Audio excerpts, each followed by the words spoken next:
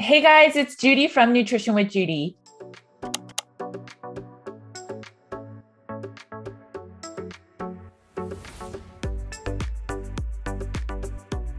Thanks for joining me today. While you're here, please make sure to like and subscribe. If you're listening to this on podcast, please make sure to leave a review as this allows my content to get in front of more people. And thank you for that.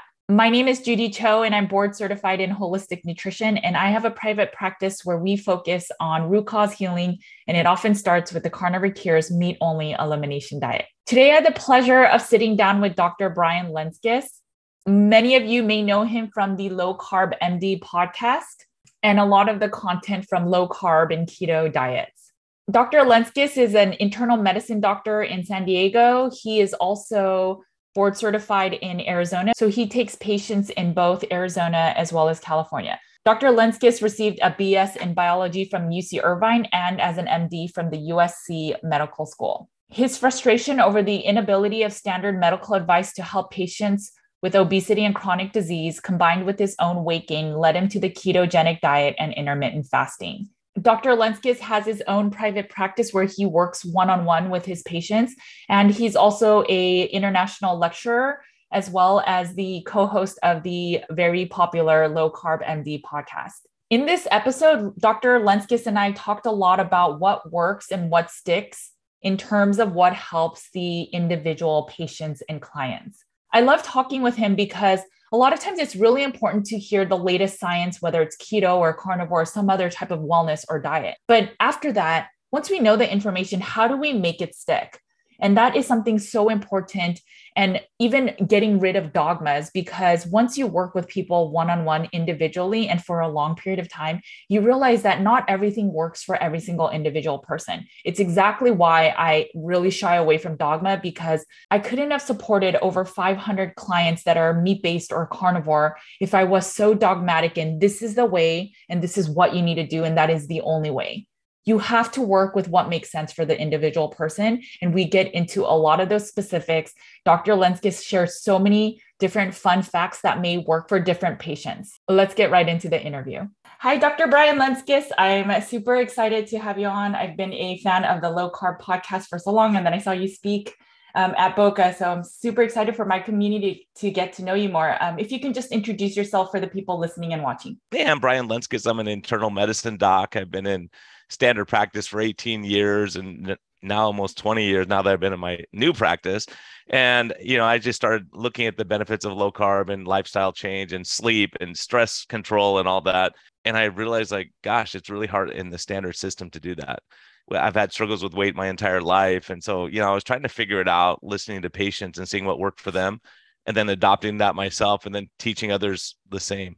Okay. And, and that was like one of the messages that I loved about you at Boca. You talked about the importance of CGMs to help people get motivated, have things stick. You know, on the internet, I'm sure you get a lot of these people too, but it's we we hear like the latest science like oh we actually shouldn't be eating this oil now or we shouldn't be eating this type of sweetener now and i know for the average person that's super busy they don't even have time to listen to all that content so how do we make things stick so that people can eat a lower carb diet and really start healing? I think meeting that person where they're at. Like I have one guy, he's doing great. He actually in this first week he lost 4.2 pounds, and all he did was cut back on like soda drinking.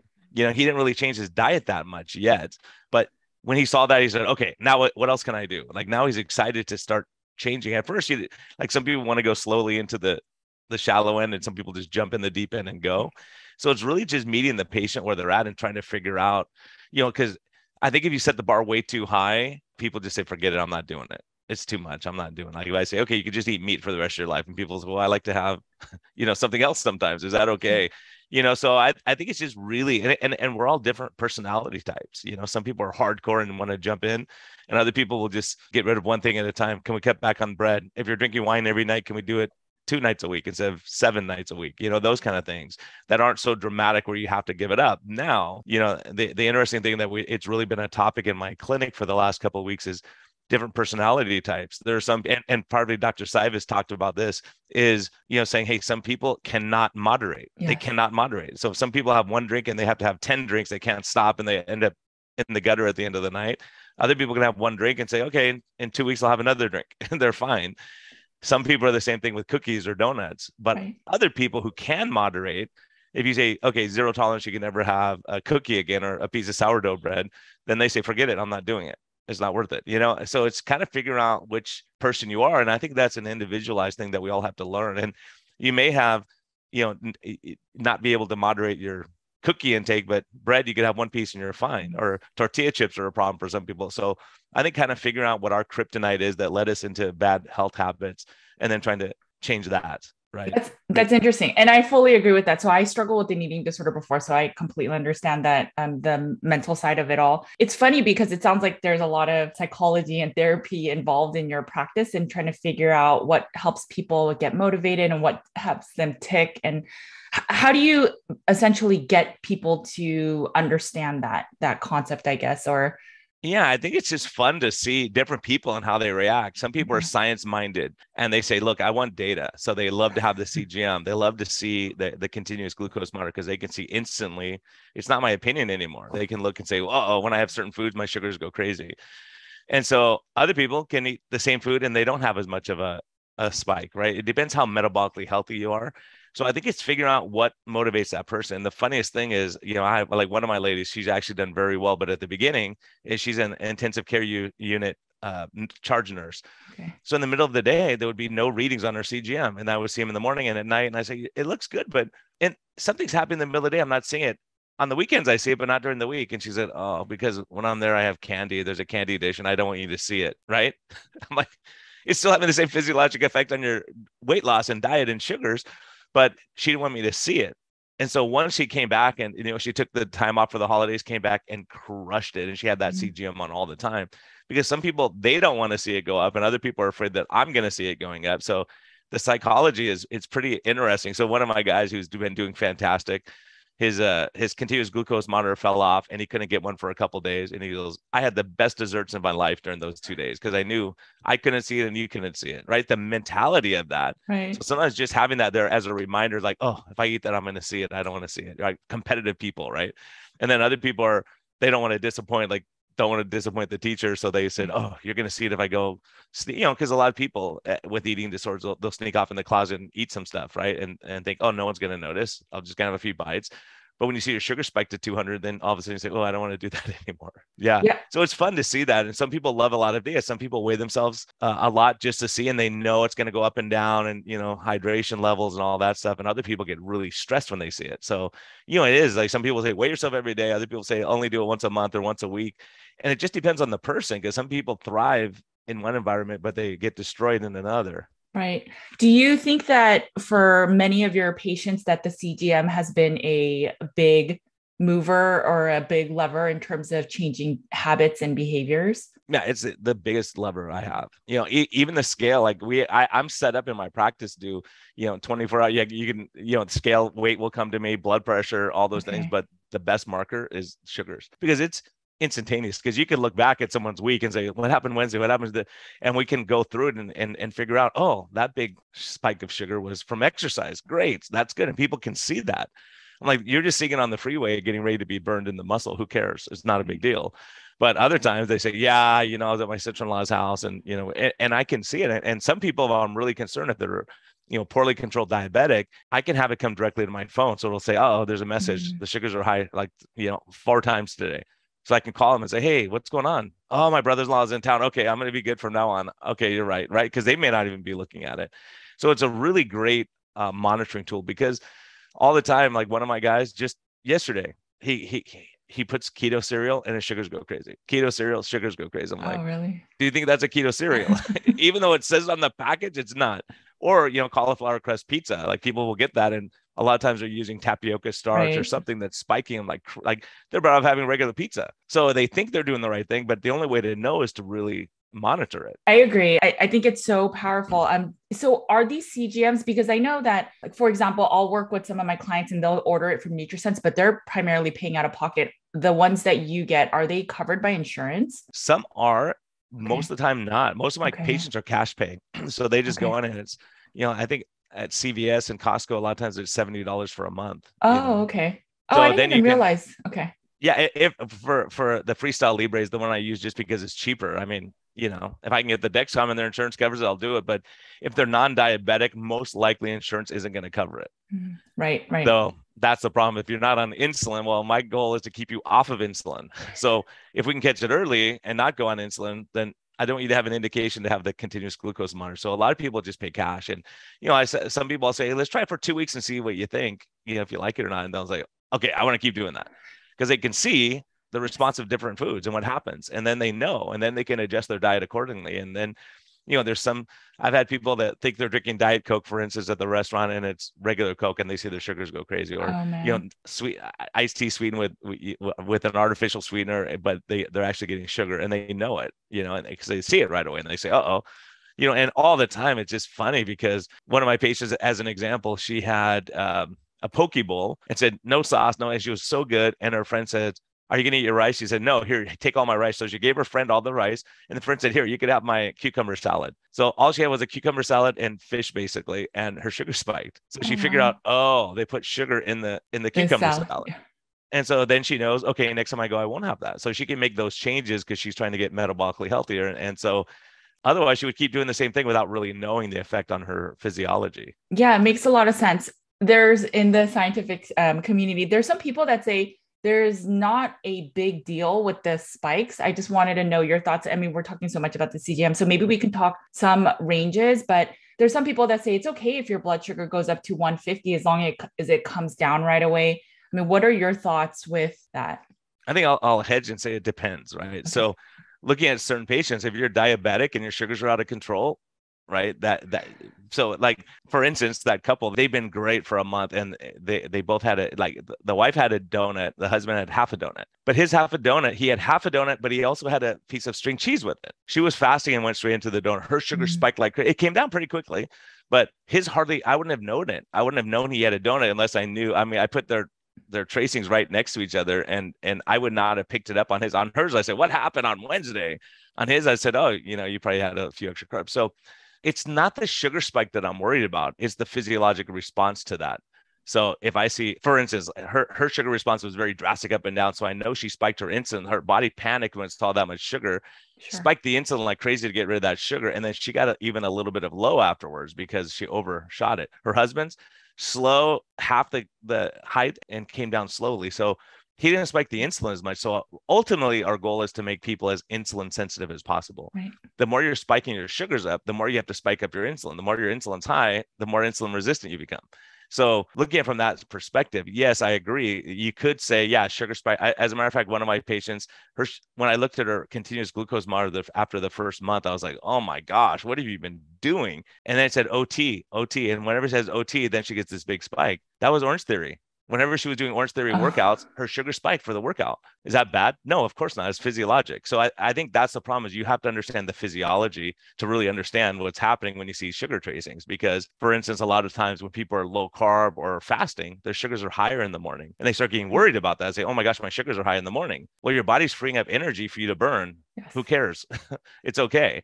Because it's gonna you're gonna normalize that. And then when they eat their lunch or whatever they're gonna eat, and it's low carb, their sugars drop after they eat, right? Because they don't have to be dependent on your liver kicking out sugar all the time. Right. They're going to say, okay, I'll take this food you gave me and I'll burn that. So, so yeah, I, I, can understand why people are saying it, but I think it's a lack of understanding of the physiology when they say, oh, sugar spikes don't matter. Well, to some degree it can, because I have, as a matter of fact, just as an example on the other side, I have a physician that I got consulted on from uh, Texas, and her sugars were crazy high all the time. It was really, really high. She weighs 96 pounds and uh-huh. she's a super like she does CrossFit for three hours a day or something. And so, and she's super low carb. And I was like, okay, here's your problem is your body is stressing out so bad. It's yes. causing a huge stress response. Slow down the exercise a little bit and liberalize your carbs. She said, my sugar's already high. I said, liberalize your carbs and they'll come down. And she did cut back on her exercise, did more like a, a weight bearing exercise for half an hour instead of three hours. Everything normalized. right? So you don't want to put, you know, that was just telling us that she was putting too much stress on her body on a thin person, that your body was freaking out trying to find energy somewhere because she has no fat. Right. Out of yeah. curiosity, was that patient not able to sleep through the night? I mean, what was the reason why? Because she, I mean, it sounds like she was fit. Like, what would be the reason why she started working with you? because her sugars were crazy and she didn't know what to oh, do about okay. it. She goes, I hear you talking about continuous glucose monitor. Look at my tracings. I looked at okay. and said, Oh my okay. gosh, your sugars are crazy. Like, you know, if, if you don't, if I didn't see her, I would say she's a 400 pound diabetic. Right. And she weighs 96 pounds, but it was just the stress of, you know, mm-hmm. just trying to pull energy from somewhere and the body was freaking out, spiking the cortisol, all this, you know, and she felt better when she cut back on her exercise. So some, some of us can be too hardcore and then you start paying a price for that. Yeah, no, I agree with that. There's a handful of people in the carnivore space, very, very athletic, worked out a lot, very, very lean, um, ate like more of the leaner protein. So they weren't even getting more of the fat. So they weren't eating a ketogenic version of carnivore. And with uh, fast forward time, the demand for the energy was so high they weren't eating any carbs. And then all of a sudden they felt that their thyroid was tanking too much cortisol was outputted. And like you said it was the same things that that lady was going through. And so instead they the ironic thing is they added a bunch of carbs. So i don't know how that's faring for them but they were moving up to 2 to 300 grams of carbs and saying that this is a better way of eating. So there's a lot of stuff that we just don't know. There's a lot of uh, interactions between our hormonal system and our gut. So menopause, for instance, screws up the gut microbiome too, or stress, or not sleeping, all those things. And then fasting actually helps it. So some of the benefits of fasting may not just be from lowering insulin and lowering your caloric intake. It may be resetting your physiology a bit. So it, it, there's a lot we just don't understand 100% yet, but we see it benefits, so it's working. Yeah, no, it makes sense. Are there other level levers that you recommend your um, patients other than diet? So, I mean, is it sleep, stress? I mean, are there other big levers that you see help people to improve, I guess, their life? Yeah, I think stress is the big one. That's one I've been, as a matter of fact, I, am giving a talk in August in, in San Diego. And, oh, okay. you know, I was looking at the effects because I see what, what I do is, I, you know, I'm a clinician, I'm not a researcher, right? So, when I see some of my practice, I say, well, that's weird. Everyone who's stressed out gains weight or, or slows their weight loss. Like always. And you know, coming from a very stressful job, I say, well, maybe that was even doing low carb and keto. Maybe that's part of the reason things are slower for me than other people. And a lot of it's genetics and you know habits and all that kind of stuff. So I really started looking into the stress and how the effect of stress. Stress screws up the gut microbiome. Stress screws up the stress hormones, right? And so when you start looking at the effect of stress, I, I mean, I really think if people get it, because it all goes together, really. Because if you're not sleeping, you get more stress. So you get more stress. You, you know, so we're all cranky when we don't sleep and we we're not eating right, right? So, so it all kind of plays in the same role. But um, but what we find is in low carb keto, the biggest surprise to me was people's mood got better. They go, you know, my mood, and now we have data on that. You know, uh, Dr. Palmer, Chris Palmer, and and uh, Georgia Ede are, are, publishing data and uh, writing a book on the mental aspects of mm-hmm. depression, anxiety, stress getting better on when you get your diet right. So you know, when I start seeing that, I think, well, if I'm a stress eater and I get the stress better, then I don't have to stress eat as much. Because people who are more content and happy aren't thinking. When you're getting a massage, you're not thinking about eating. necessarily, right? Most people. So when you're distracted, when you're busy, when you're happy, when you're out doing stuff, uh, but when you're stressed, people, oh, I'm stressed. Give me a cookie. Right? right. I'm stressed. I need right. something because that makes you feel better. So once if the stress gets better, then you don't need that stress eating. And so what we find is people with lack of family support and stress and depression, you know, they're going to eat more because has to do with the dopamine response in the brain. And you know, you think about it like alcohol. Some people have one drink and they're good. They go, okay, I'm good. I feel good. I don't have to have five because some people need five to get to that same little level of dopamine release in the brain. And the same thing goes for pizza or cookies. Like some people need six. Other people have half a cookie and they go, okay, that was good. I tasted it and I enjoyed it. Right. So it's really a, an individual thing. So yeah, it, it's uh, it's just very interesting when, when you start looking at how we're so different, and that's what our job is to look back and go, what's going to work for this person? Because some right. people are just one personality, like you know, a triathlete personality. Other people just want to go for a little walk every now and again, you know. So the other lever would be exercise, obviously. You know, Ben Bikman talked about it. I asked him, I go, Ben, if I want to live a long life, what do I got to do? And he goes, Okay, five things, Brian. Right? It was number one, don't run around like a crazy person working too much and being stressed all day. I'm thinking, okay, I'm working 16 hour days at work, right? And I know that get enough sleep uh, getting up at 4:30 in the morning so I can get downtown. You know, a 40 minute drive from my house, and then I have to get home. Then I want to spend time with my wife, so I'm up till late, and then I get up early, and then you get into that cycle, right? Then he said, exercise regularly, like what we were doing that morning when we got together. Uh, don't smoke or drink to excess, right? And eat real food. He goes, that that's what you have control over. So that's what I I I, I push all that to my page to go. Look, here's the five things you can control. Maybe one of these you can't control right now. Maybe you have a new baby and you're just not going to get good sleep just the way it is. So we can still uh, leverage the other factors that we can that we do have control over. Yeah i love that. I love that you work with real people because a lot of the people on the the research it's you know they're they're they're looking at the research and i, I get it. There's um, a lot of that will help us further um, i guess the levers with our our our clients and our patients but really it's the individual people that then challenge our way of thinking and realizing that things don't always work as we think. But it's true i when i as soon as the pandemic hit you see people really stressed out. And they're all of a sudden like i'm not keto. I'm just doing the diet that works for me or you know the any excuse to start because they're really stressed out because of the pandemic. We don't know what's going to happen. And people just started derailing of well i might as well enjoy what i'm going to eat if i'm not going to survive another day. And there was a lot of that and i saw mm-hmm. that. And i agree with you with all the other levers. I you know really respect dr Bikman in terms of the stress how uh, like i've had a lot of clients tell me well everyone's stressed so like stress is just normal. How how do you recommend them lowering their stress levels? Yeah you know that's the thing is when i started looking at this I, I, and there's a good study that that i'm speaking about but they show seven different ways where stress okay. screws up insulin sensitivity. So you get more insulin resistant the more stressed you are. Yes. And it works through the cortisol axis, the the renin angiotensin system for for blood pressure uh, you know, and, and it's very interesting, like how it affects it, it, it directly causes inflammation in the the beta cells in the pancreas, which make insulin. So you make poor quality insulin, you need to make a lot more of it. You know, you'd rather make a little bit of good quality insulin. So so stress has a huge role. I think we've underestimated stress that's physiologic. It's not just because you get stressed and you eat more, but mm-hmm. if you do get stressed and you eat more and you're more insulin resistant, now you're in a bad situation because it's going to get worse and worse. And you're going to need more and more insulin to get rid of that sugar. And then your insulin's a fat storage hormone. So then we have more of that. So let me get back to your question. What are levers that you've recommended? Oh, yeah. Because people say, well, everyone's stressed in this world, right? Stress is such a um, it's not an, a very specific thing for people to overcome. So, are there levers or recommendations you normally give your clients or patients um, in terms of reducing their stress levels? Yeah, I think that's a huge thing. And I think a, a, lot of it is your perspective, right? How, how you're looking at life. Some people in the same situation, they go, okay, this is like for me, certain things aren't stressful to me. Like they may be really stressful to other people. I'm like, okay, as long as they're breathing and they have a pulse, then we can do something, right? But other people, you know, that it's really like they see blood and they pass out, right? So it just depends on on how you internalize stress. And I think a big thing, and it sounds so silly, but just counting your blessings and saying, okay, look, you know, it's a lockdown. I have a house. I'm, you know, I have a family who loves me. I have good friends, whatever it is, looking out to those things. Cause you're right. So many people got so isolated that they didn't see a human face for months. Like right. some of my seniors, they didn't see a human face for a month. And then we do a Zoom meeting and they start crying because they see you and your, your smile, you know? And so and saying, okay, in, in the day, can you do that? I mean, it could be anything silly.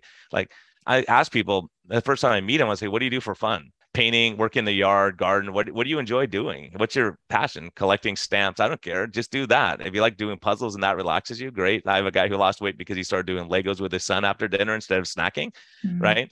And so different things like that. One of my patients who's a psychiatrist started knitting and she lost weight. Not because knitting burns that many calories, is because it kept her from snacking or thinking about food and she and she it relaxed her and probably calmed her stress hormones. And I'm telling you that the you know one of my guys is a CFO of a huge company. He took a week off, ate terrible food the whole week with his but he was relaxing with his family. But he said no calls. I don't want to hear about the problems. If my place burns down, it does. Tell me in a week. I don't want to hear from you guys because for the last 25 years, every day he's on call. He wants to have dinner with his wife and he returns four calls during dinner. It's like that. Right. He's not stressed out. It's just that he's constantly thinking and doing things. So during this week off, he ate terrible and I was laughing because his his tracings were terrible on his continuous glucose monitor. He had biscuits and gravy with his brother-in-law. Then they had French fries one day. So he was there for 10 days and he lost 8.8 pounds in 10 days. Wow. Even eating that way even eating terrible. So I was like, it's not just the diet. Stress right. is a huge factor. That's when I saw that on the same at the same week. And, and this is how it works sometimes. You make observations and you say, okay, in the same week, this guy lost all this weight. My other patient who's a nurse and she had to give a she's a nurse practitioner, had to give a talk in front of a big group. So on Friday, and she has a Dexcom and her uh, it's a continuous glucose monitor. Her sugars are perfect like all day, the day before, like they normally are. On Saturday, her her baseline sugars went from around 90 to 180, and then it spiked to 220 and stayed up for that little while, and then it came down one hour later. I'm like, what the heck did you eat? What did you do? And she said, I had to give a talk. She's I fasted all day, and I was Oh, wow. super stressed all day because I knew I had to give this talk on an area that I'm not really comfortable with. Mhm. So the start of she started at three o'clock and ended at four o'clock. Her talk, her sugars were up that entire time. As soon as she ended her talk, her sugars came down below baseline and returned to normal. Right, and she ate dinner, and her sugars dropped after dinner. So it was showing that she was having a huge stress response. So how many of us go through life with a huge stress response all day, right? So I, I tell people, how do can you simplify? Because I have a lot of people that will retire, for instance, and they say, okay, and they're doing great, and all of a sudden now they have to babysit five days a week, and then they they're on the committee for you know the the board for their apartment building or whatever, you know, and and, and so they get so stretched out again. They're like, I don't have time for myself again. Like I retired for a reason, and other people say, oh. What am I doing today? I don't know. I'm gonna go to Home Depot, and they're chill and they're relaxed, and they their blood pressure and everything starts getting better because the stress effect. So yeah, the, the, some uh, some things that you can do sauna, like if you could do sauna for 15 minutes, a couple days a week, that makes a difference. It increases exercise tolerance. There's a lot of benefit. Increases nitric oxide in the in the blood vessels to protect against heart disease and you know dementia. There's studies on all this stuff. So I think we just haven't really focused on that enough. You know, exercise for sure, for for sure. A lot of people they use that for their stress relief, and and I think that may be a big part of the effect we see with exercise is that it calms the stress hormones, allows you to think a little bit, get out and shut your brain down maybe, and you know listen to music or a podcast or something along those lines that just helps you to calm down and and take a breath. So I'll tell people take a breath. Like I've noticed that is that my middle-aged, you know, real estate agent, like while we're in a consult, she's here typing, hold on, doctor, I gotta send this email. I'll be right with you. Hold on just a second. Like every time. And then you're 10 minutes like, I'm so sorry, I was running with a client. I got and and then but they don't have success because I think they're spiking their stress hormones and they're, you know, it's hard. So once people calm down a little bit and take a breath and say, okay, everything's all right, whatever, faith, yoga, meditation, I don't care what it is, find your peace somewhere. I love that. Um, and then the sleep lever is a really tricky one. There are, I, for example, sleep so much better now that my blood sugar is a lot more balanced eating a keto carnivore diet. But there's a lot of people that'll say, now that I'm lower carb, I can't sleep through the night. My hormones are messed up. Have you noticed that with some of your patients and how, if someone is not, you know, everything else looks beautiful being a ketogenic eater, but their sleep is now messed up? Maybe they're just having too much cortisol at the end of the night.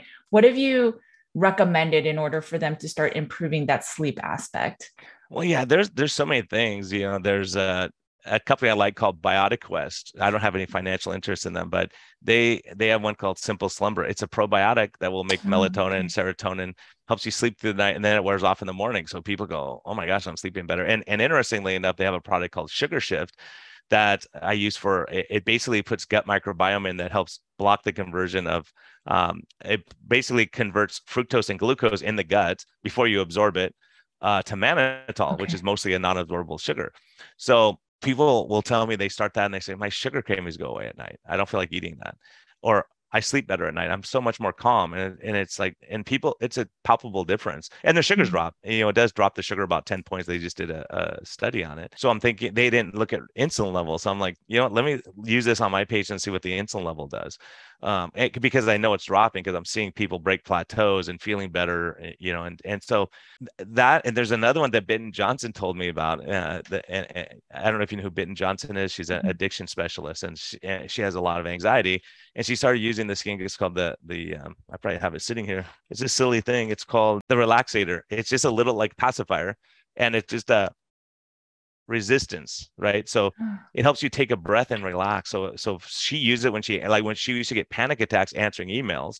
And then she says she puts she she that you breathe in through your nose and you blow out through this. And what it does, interestingly, the physiology is that when you it, it, like in the old days when someone had a panic attack, they would give them a, a paper bag to breathe right. into because what it does is builds up your carbon dioxide level and when you build up your carbon dioxide level it makes you release more oxygen to your tissues and it's calming right? So if you're hyperventilating mm-hmm. all day in stress you're blowing off carbon dioxide and so you have a low carbon dioxide level then you're more likely once it hits a certain threshold you're more likely to have a panic attack. So she's been using that and i thought that's the craziest thing. But i've had patients that's really helped them a silly thing like that saying okay just breathe just breathe. You know, like we, you know, like Wim Hof, some other people who do right. deep breathing, or they do the water, you know, go in ice cold water and control their breathing, and and those things help. So it's just kind of figuring out what works for that individual person. You know, some people are going to say, I'm not going to walk around with this in my office, but other people have their own office and they could just do whatever they want to do. You know, and some people do a little exercise break or stretch or do whatever just to just to bring the nerves down a little bit. But the other thing I'm actually really intrigued with, I have one lady, she wasn't having success and it was a struggle. And then she retired. And then she's kind of that story of, you know, babysitting all the time, being busy, and she couldn't sleep. Mm-hmm. She just could not sleep and she was miserable. And, you know, all the sleeping medicines we use make things worse. So one of our clients had used a, a stim device on the ear lobes, right? 15, 20 minutes. It's been shown to help with with PTSD, anxiety, depression, and sleep. All these things are interrelated, right? So she started using it. And I saw her on a Zoom meeting because she's in Northern California. And I looked at her, I'm like, what you look great. What's going on? And she said, I'm sleeping through the night. And just sleeping through the night, her cravings got everything got better yeah. on her journey because she started sleeping. This little device, she used it for 20 minutes a day and she sleeps through the night. So things like that, you go, gosh, what works for you ultimately? You know, right. so I think trying something to not not just give up because insomnia is a huge, huge problem. And I don't think it's necessarily from the dietary change necessarily, but for instance, alcohol. If I have a couple glasses of wine at night, I would give it two in the morning. I just do. And it's probably because being keto and low carb, you probably drop your sugars and that wakes you up and your body says, oh, your sugars are low. You got to do something. Uh, fasting, some people will notice that they don't sleep as much. But some people will notice they sleep less, but they have more energy too. And they're not tired and they're not dozing off anymore. So it's just really individualized, you know, individual how you respond to those lifestyle changes. Yeah, I think all of those are really cool tips. I got to find that little contraption you because I would love to recommend that to my clients. It makes so much sense. I know that you work with a lot of the community that maybe isn't well to do. So maybe they can't even afford a CGM or afford all these fancy devices, or maybe they're not too fancy. But how do we support people to have wellness for all? I, I'm a firm believer that everyone has the opportunity. I mean, you can eat just ground beef, the cheapest kinds, eggs at the most conventional, and like the simple plain butter. And while it may not be perfect, quote unquote, um, but people will still heal compared to eating any of the processed foods. So, how do you support the community that may not have either whether it's a lot of time or a lot of resources in terms of financials? Yeah, that's a hard thing, and I think it's it's reaching out to it really comes down to education. I did I, I don't know if you heard about this, but I did. Um, I had 23 females in Vacaville, California, which is a farm community, and you know they were basically farm workers, and they were all from Mexico. And out of the 23 17 didn't speak english mm-hmm. right? And so the owner of the company said hey all, all these women have diabetes they have all these other health problems. Do you think you can help them? And i said well you know i'd love to but you know i'm in southern california but we could do zoom meetings and i can so i just set it up and i had ben Bakikio, the workout guy do a, a, talk for them and i did some talks and educate them and just say hey look what can we change? What are you doing now? And having the the, the owner of the company pay for all their continuous glucose monitors so mm-hmm we could see it. And every week we, we do a Zoom meeting like this. And I'll go, okay, who wants to show their sugars for the week? And like someone go, oh, show me what you did. And then we'd see it and we talk about, look at this. And so we could educate everyone based on a couple, you know, tracings that we looked at. And what we saw is that they improved. I mean, a lot of them were coming off insulin, coming off their diabetes medicine, their moods improving. It, it was unbelievable. And it wasn't that we had to, eh, I mean, they're on a fixed budget. So fortunately for me, I, I saw, I said, can you, before we started, I said, can you show me a picture of your break room? And I looked, I'm like, oh my gosh, this is a this they had like you know monster drinks and you know everything was processed garbage food. And like that's what your people are eating. No wonder they're exhausted all the time. And so Ben Bikman and a couple of the other you know companies said, hey, we'll send you stuff. Keto Mojo sent free monitors for them. And we helped the community and they got better and they're still continuing. They didn't do a biggest loser where they who could lose the most weight. And I kept in mm-hmm. you know hitting them saying, look, it's not about the biggest loser because one of you was the biggest loser last year when you did a you know whatever challenge and you gained all your weight back plus some. That's not what you want. You want a sustainability. So if you're eating 12 i had one lady she lost 32 pounds during 16 weeks and it came off all of her meds and everything and i said how many tortillas were you eating a day? And she's oh about 20 like 20 a day? And she's yeah 20 like you know six at lunch six at dinner. Yeah right it adds up. And she goes yeah we would just so she cut that out and and she just destroyed it. And they uh-huh. gave up green drinks every morning. They were spiking their sugars like crazy when they saw it. That's why I like to even before we start doing low carb, say put on the continuous glucose monitor, do your normal diet for three or four days, and then we'll switch over. And when they see it, they say, "Oh my goodness!" Like they see it flatten out, right? They so yeah, so like eggs are cheap. right? You can get ground beef. I have one guy who lost 100 pounds eating ground beef. He would, he's a single guy, doesn't like to cook. So he would just on the weekend make a bunch of ground beef, right? He would just, he would just cook a, a bunch. And then on Monday, he would have it with a Mexican sauce. On Wednesday, he would have it with a Asian sauce. So like he would change. He's eating the same thing all and it's cheap. And he goes, This is the best thing ever. Like, because he had done liquid diets and lost a ton of weight and gained it all back. And now he's sustaining it. So, yeah, because you want to sustain your muscle mass because right. you can lose weight quickly right? If you eat 300 calories a day, you'll lose weight quickly, but you're losing muscle mass and then you lose your metabolic rate. And then when you start eating a little bit more, you gain weight and you're, you're more insulin resistant because you know you see those a lot of the low uh, when you look at the the medically supervised diet plans you know liquid diet plans you see how much sugar and garbage stuff it's soybean oil and corn oil and all kinds of stuff in there right it's the cheapest stuff they can possibly get so people lose weight, but it's they're not they're losing their muscle mass and their metabolic rate, and they're they're getting more insulin resistant. So it's been fun to look at continuous glucose monitor on those patients after they've done that, and you see the response they get compared to my other patients, and then how that response changes over time, in in, in you know in the next three or four weeks, where where they can actually respond to exercise and release sugar from their fat stores instead of being dependent on that sugar that they're eating. And you said that that person that just loves ground beef or can tolerate just eating ground beef. He lost 100 pounds. Mm-hmm. Over 100 pounds. Oh, wow. That's yeah. amazing. Yeah, yeah. That's what he does. And it's simple. And he goes, Yeah, sometimes I'll wrap it in lettuce. Sometimes I get, you know, he goes out and has, you know, salmon or something like that because that's my staple. That's what I do. Can that's I keep awesome. doing that? His cholesterol improved doing that. His sugars got better. His insulin. See, it, it's mind blowing for people. Right. You know, because a lot of people, you know, they'll say, I'm afraid of eating eggs because of the cholesterol, but their A1C is 7.9, you know? So it's like, we have to fix that problem. We have to right. fix the insulin, the A1C. That we know that's devastating. You know the, the effects of diabetes. So, yeah, there's trade offs in life.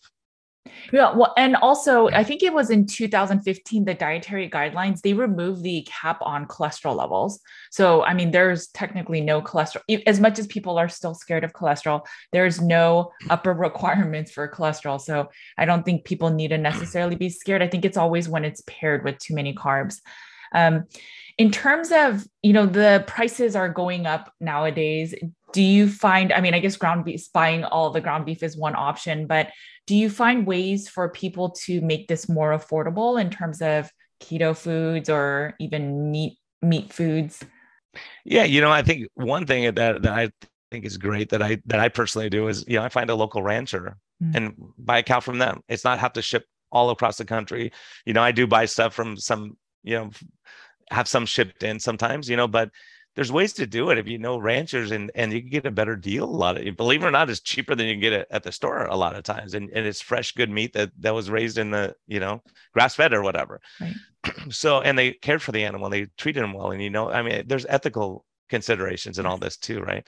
So yeah some people will just you know it's hard because the you know cost of everything's going up but you know most people they they figure out what works. They go okay if i can't afford grass fed i just get ground beef, right? Or I get the cheaper cuts, and you'll see there's certain cuts that of meat that are pretty cheap that you can get, mm-hmm. you know, and and even if you get a bad cut of meat, if you have an instant pot, you can throw it in there, and mm-hmm. and you know it, it becomes tender, and you can make your chili out of it or whatever. You know, right. there's there's other ways around it, and people figure out. I think you know Maria Emmerich's done a good job of of having a bunch of recipes that are reasonable because you know some some some of the keto recipes out there you look and it's like well, it's going to take me two hours to make that I don't have time for that. Like people are busy; they don't have time. So it's figuring out. Like, and I think the big thing, really, uh, from an economical standpoint, excuse me, is cooking at home, not going out to dinner every night. You know, it adds up. Yeah, no, no, no. I, I agree with that. I think that makes sense. And I mean, we do the same thing. We order from our local rancher. I think one, I wanted to support the local rancher so there's not a middleman. I wanted to ask you really quickly about the CGM. So I found some clients do really well. So they are really open eyed with all the things they see in the CGM. But then fast forward like two months and they're no longer using a CGM and they kind of start going back to the habits because they, um, so within your practice, have you seen that too, where people start like forgetting the CGM spikes that they had seen, or do you recommend that they use a CGM, uh, f- you know, forever in the future in a sense? Um, what what have you seen kind of works for your patients? Yeah, I think it's a it depends on the person. Yeah. Like some okay. person people that keeps them accountable and they see that and they go, I'm and so some people like, I'm always gonna have this thing. Okay. Like, you know, most of us when we get our diet, you figure it out, say, okay, I don't need it. Most of my patients after a time, but if you plateau or start going up, I'm like, okay, let's look at the CGM data. Let's try that again and see what, where you're at. because then they realize, oh, you know, I have been having more nuts and oh, I have been having more and you don't realize at the time, right? Or I have been, you know, taking Friday nights off more or whatever. But when you see it, then you go, okay, what happened here? What happened here? And they can see it, right? So, mm-hmm. so I think it's a valuable tool to keep us on track or get us on. If you're on track and you're running and you're, you're, you know, I mean, some people I look at, I go, why do you even have this on? Look at your sugars; they're just flat all day. Nothing's changing. Why do you even have this? To go, because if I take it off, I'll eat that day. Mm-hmm. And they know themselves. So sometimes you just learn, you know. Yeah, you no, know? no. so no. most people don't need it forever. It's just like ketones. I don't check it very often unless you know, I you know, we had a bunch of birthday parties or something, right? We ate out to dinner a couple times. I'll say, okay, where am I? Just get back on track. You know, okay, I'll fast for a day and get my ketones back up. So it's just kind of figuring out where where you're at and what works for you ultimately, you know. And most people don't need it once they figure out. I think it's the the the most valuable times when you first start. But as a matter of fact, the funny, I was at a, a low carb conference. It may have been Boca. I'm trying to think where it was. Anyways, we, we were there and they had low carb um, cake, and I did. And I'm like, I don't want that. I didn't have it. I was talking in a discussion with someone. And and, and so one of the guys asked me, he's like, Brian, do you think it's sensible to wear the CGM all the time? I'm like, yeah, for some people it's really helpful, you know. And so we got into this discussion so that him and the, there's two guys who were who were questioning whether it's useful to use the CGM. Both of them came up to me and showed me their sugar readings. Go look at this from last night. I had that cake. It wasn't low carb. And then the other guy goes like, "Hey Brian, do you see this? Look at my tracing." so they saw it. So they're the ones who were questioning the usefulness, and they both said, "Man, I wouldn't have never known because you know if you buy that cake and you say, oh, I'm getting this low carb cake every time, and you never check it, you have to confirm that it's not that it is because a lot of people don't know. They say, well, it's low carb because it's gluten free. Well, right. it's not. It's not low carb. you put sugar in it. So you know things like that where it's helpful. Where you know if the if things aren't on the right track, and you you can look at it and say, okay, what's happening physiologically to me? You know, and and so that's the benefit. And you know the other, if I'm not doing the CGM, the other thing I'll check is an insulin level and if I see that start creeping up again, I go, either you're not exercising or you're stressed or you're, you're eating more carbs. There's no other way around that. Yeah, it right? makes sense. I think the CGM really simplifies. You know, there's a lot of practitioners that'll say, "Oh, you have to look at net um, net carbs, or you look at the fiber, or you look at the type of sugar." But or you could just say, eat whatever you want, use the CGM and determine if that food is actually right for you or if it makes sense for you. So I think it really simplifies things and it makes it very individualized. And I think that's why I've just slowly started really introducing that into my practice as well. So it makes a lot of sense. You know, um, as I mentioned in the very beginning, you're one of the co-hosts of the Low Carb MD podcast. I have a podcast with Mike. Um, I have a co-host friend, and she absolutely loves both of you and says that you have both changed. I mean, Laura Spass, she was on your uh, podcast, and she absolutely loves you and always raves about you. Of all the people you've interviewed for so many years now, what are some big ticket items or tips that you can recommend to the people that are listening and watching? Watching right now that you've learned across your journey as being a podcast host? Well, what I've learned, I think, mostly is not to be fanatical, mm. right? I think I've talked to Shawn Baker, who's carnivore, and I go, Shawn, why are you carnivore? Why do you eat only meat? Because uh, when I eat fruit, I get fat, and I don't like vegetables. And if I eat other stuff, I get fat. I'm okay. Well, I'm not gonna argue with you. That's what he does, and that's what's working for him, right? Sure. And other people will have a higher fat ketogenic diet, other people a lower fat. So it's it's really I've learned just in dealing with patients too, and I apply what I learned from other people to my patients. So the interviews I've done have been so fantastic. And I have another podcast called Life's Best Medicine where oh, I okay. you know kind of go behind the curtain and talked about like what motivates you, what do you enjoy, what do you what annoys you, what do you you know what's life's best medicine for you, what do you do when you're stressed, what do you do when everyone's against you, those kind of things and I've had the pleasure of having you know Professor Noakes and, and Gary Fettke and so many great docs on. And and what I've realized is it's really the people who like they, they'll question the science and look and say, okay, this is what everyone's saying, but my patients aren't demonstrating that right? So I have to look at my patient success and go, okay, look, if your carnivore is not working, let's try some a different approach. If you're eating a high fat ketogenic diet, let's try tapering the fat down. If you're eating a low fat ketogenic diet, it's not working. Maybe we have to go up a little bit on it, right? And I've seen all of those things work. So people will argue, uh, you know, calories in, calories out. Do calories matter? Well, if you're eating 10,000 calories of butter a day, you're going to gain weight. So right. to say calories don't matter at all is probably not. But but I think yes. what we're, we're, confusing the picture of satiety is what matters. Mm-hmm. Like if you eat 300 calories a day and you have satiety and you're and that's enough for your body and you're not you know doing something great, but you're, if you're a triathlete, you're going to need more calories necessarily, right? So it, it, depends if you're trying to lose weight, gain weight, get your sugars under control. So I think it's that where, where I've learned really is is looking at that individual and saying, okay, this person is not going to be a hardcore like I'm all in, I'm doing this. Let's put the training wheels on and start from that and and go slowly. And they have to be okay with that. So if you're going to put the training wheels on, you, you have to know that it's going to be a slower process. If you're mm-hmm. sprinting and you're working out every day and you're doing all this stuff, you're, you're, you're going to run the marathon a quick uh, on a faster pace. If you take a day off every week, then it's going to take you longer to run that marathon, right? You're, you're going to have to train differently. So that's what I think is is really reaching out to people's expectations and saying, okay, where do you want to be? Do you want six pack abs? Okay, this is what's going to cost you to do that right? If you yes. want to drive a Ferrari, it's going to cost you a lot. You're going to have to work hard and you're going to have to make a lot of money to do that. Or you could say, Hey, I'll be happy with my car and I don't, I could keep my wife and kids and family happy, you know, and not be in debt. So I think there's, you know, trade-offs in life. And, and that's what I've learned is that, you know, really just looking at the individualized approach and seeing what works for that patient in front of you. Yes. And we can't just say, okay, everyone does keto. And I know, I know people who've been very successful and they go, everyone does this, this right. page, follow this page and go and do it right? And it's not that easy because you know and that like you made the point and, and i love that you made that point is the, the people that do research are working with mice in a lab. We're working with people who lost their mom to covid. We're right. working with people whose husband just uh, you know has dementia. And so that's a little different than saying okay here's 500 calories a day and go and eat that and then you know we'll, we'll just change the ratios type thing. It, it's cravings and food and stress and you know there's so many factors involved. Can you exercise? Do you have bad knees? And you know what what can work for that person? But i think the biggest thing is giving people hope and saying look yes. i have people that you know i have a guy who came in yesterday who has advanced uh, colitis and he's miserable and no one's talked to him about diet. No i'm oh, like what are you doing here? And it just happens that he didn't know anything about my history on this stuff. And uh, one of his friends comes to me and goes he likes you as a doctor. Okay uh, but in your case, I'm telling you, there's stuff we can do and because I've interviewed people who've reversed their colitis with dietary changes, you, you, know, and they're not using their meds anymore, or they're or they're using it a lot less than they used to, whatever. And then you go, okay, there's hope. So he left here with hope, saying, "Oh, I can make some changes. Maybe I'll cut out these processed foods out of my diet, and I'll try eating real food and see what happens for a while." Yeah, why don't we try it for two weeks? Can you do it for two weeks? Yeah, let's do it. Okay, we'll monitor you and see. So I think it's just you know that's what i've learned is really that the more experience i have is once i've treated someone with a certain condition when that next person comes through the door i go yeah we can help you because i know it does i know it works for someone else and it should work for you if we do it right but the reality is is the patient willing to do that are they willing right. to take those steps and give up certain things because you know, I think over time, and it's a funny thing that I've noticed, patients will come in and they go, okay, look, doc, I'm not going to do fasting ever.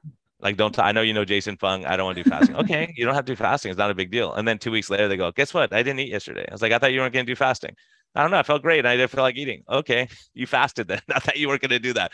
So, you know, those kind of things, when they feel better and when they get their insulin level down, they feel better yes. and they can do certain things, you know, and then when their knees don't hurt and backs don't hurt anymore. So that's why I love having this variety of people on, you know, and saying, what's working for you? And then listening and not being arrogant and saying, okay, my way is the only way because then you start realizing, oh, maybe the gut microbiome has something to do with this. Maybe hormone levels. Maybe there's other people who are hormone experts I need to talk to if I can't break through with this patient and figuring out how you get a team that can help the patient, you know, ultimately. Yeah, I love that. And that was one of the biggest reasons I wanted to have you on is, I mean, I heard your talk in Boca and there's, um, I just love that you work with the individual and it then when, when you work with an individual, you your everything you believe like you cannot be dogmatic because there's no one way for every single person. And even if you had a one way cookie cutter diet it also then will depend on the person's behavior and their history of if they're even going to do the diet. So i think it's so important um, having people on that really can share how it is working in the real world with real people that while you know you may have the perfect science or the perfect diet you have to meet like you said at the very beginning you have to meet your patient where they are or nothing's going to stick. So it doesn't matter if you have this picture perfect diet if it's not going to if the your community or your patient population is not going to adhere to it. And i love that of all your experiences this just comes down to you have to meet the client or patient where they are and help them with hope and the ability that they know that they can get better with whether it's diet or other levers you mentioned um, and it's so powerful. So thank you. So where can people find you? You know, so I, I, know that you have a practice. Are you just local to California? Do you see people outside of California? If you could. Well, just... I'm licensed now in California and Arizona. Okay. So so I do see a, a lot of people okay. from Arizona, Northern California, California mostly but it's low carb MD San Diego.com. Okay.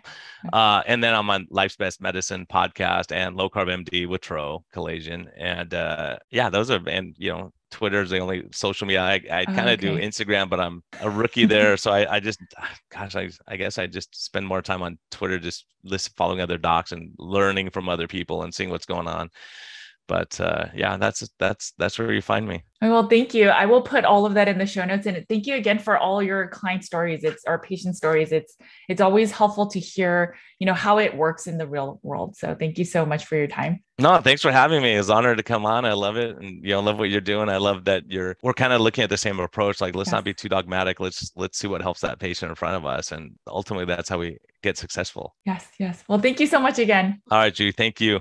Okay, I hope that this interview was helpful. I hope that you found different levers and different tools and little tricks that you can try.